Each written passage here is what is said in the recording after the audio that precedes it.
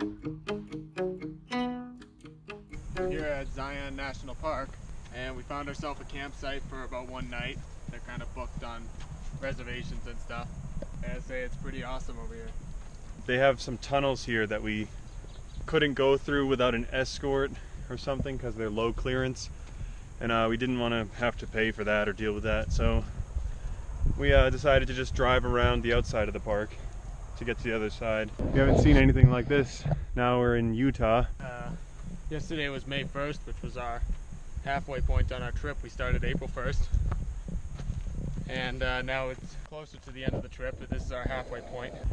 We've seen so much of the country in the past month, and I know there's so much we still haven't seen, and there's probably a lot we went by, but the goal for this trip, like we said from the beginning, was uh, trying to see as many national parks as we could.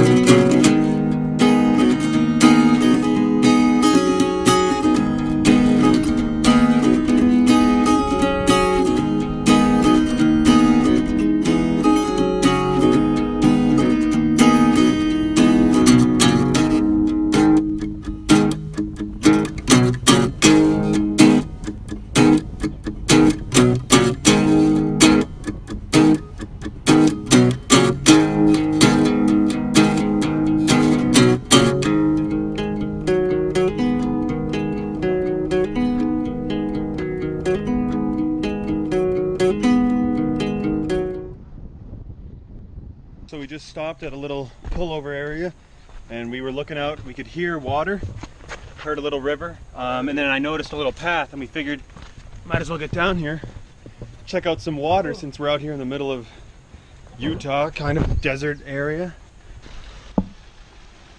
It's so clear. You go swimming in that. There it is, that's what we were hearing. Waterfall over here. There it is. All comes down here.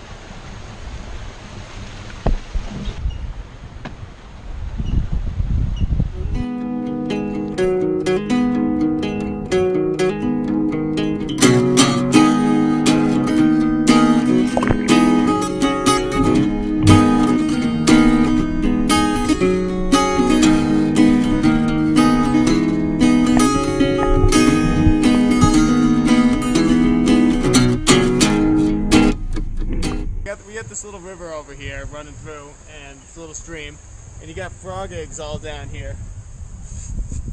There's a ton of them. I saw the little jumper over there. But uh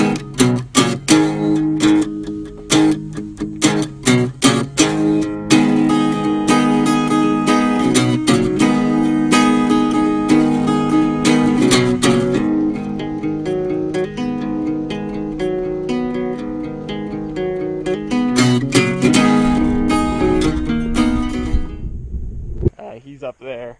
I was gonna go up, but then I noticed this trail, and I figured I'd check it out because he's pointing out that there was a cave down here. Holy crap! Oh, it goes out to a tunnel.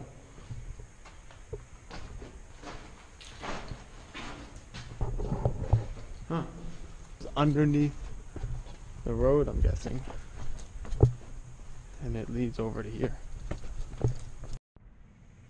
Normally there'd be water. That's definitely the source.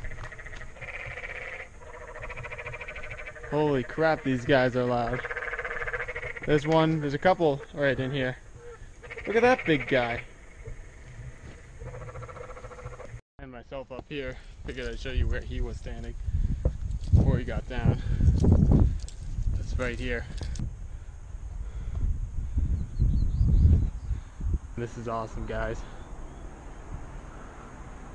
I definitely think I'll be coming back here someday.